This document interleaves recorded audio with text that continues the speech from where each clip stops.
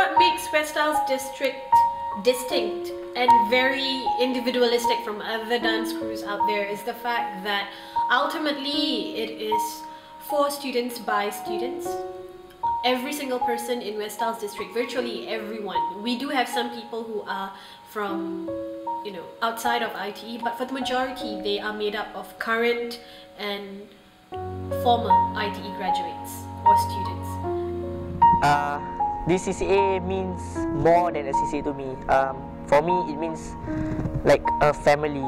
Yeah. Um, each and every one of us treat each other like siblings, and yeah, like blood siblings, and yeah, we really love each and every one of us. This CCA means to me because without this CCA, I don't think we all can really go far.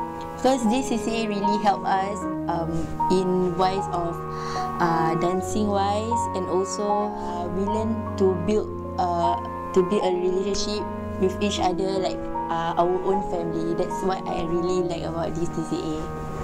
This CCA, uh, this CCA means a lot to me because I'm doing what I love with the people I love.